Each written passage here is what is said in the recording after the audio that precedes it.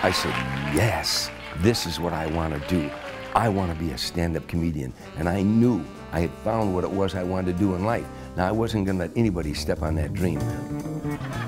There's so many comedians out there that make a great living at it. If I told you right now, you know, you can make a quarter of a million, a half a million dollars a year being a sort of unknown guy, not a superstar. Would you be happy with that? Absolutely.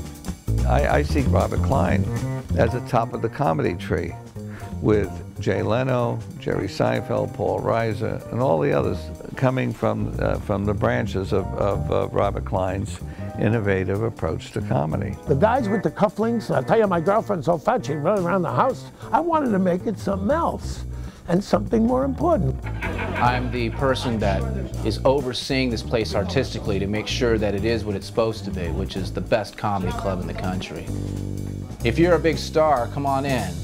If you don't got it going on, don't bother me. It is a business. It's not, it's an art form, but it's an art form that you're selling, and what you're selling is yourself.